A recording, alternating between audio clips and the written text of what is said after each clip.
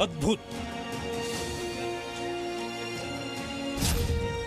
अकल्पनीय। अविश्वसनीय। भव्यता ऐसी कि हर कोई बस देखता ही रह जाए। आकार ऐसा कि हर कोई बनावट को नज़रों से तराशता ही रह जाए और आधुनिकता की मदद से पर्दे पर जब इस मंदिर के डिजिटल मॉडल को उतारा तो हर कोई मंत्रमुग्ध था। यूएई की राजधानी अबू धाबी में भूमि पूजन के करीब दो साल बाद स्वामीनारायण संप्रदाय के हिंदू मंदिर का निर्माण शुरू हो गया है। गुरुवार को इसकी नींव डाली गई। ये नींव मंदिर को मज़बूत करेगी, साथ ही मौसमी प्रभाव से भी इसे बचा कर रखेगी। मंदिर में लगने वाले पत्थरों को भारत में अलग अलग आकारों में काटा जाएगा और बाद में यूएई में एक दूसरे से जोड़कर मंदिर बनाया जाएगा।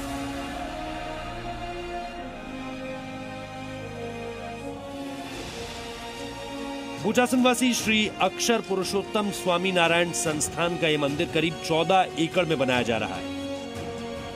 प्रधानमंत्री नरेंद्र मोदी ने 2018 में वीडियो कॉन्फ्रेंसिंग के ज़रिए मंदिर की आधारशिला रखी थी। यूएई में करीब 30 लाख भारतीय रहते हैं।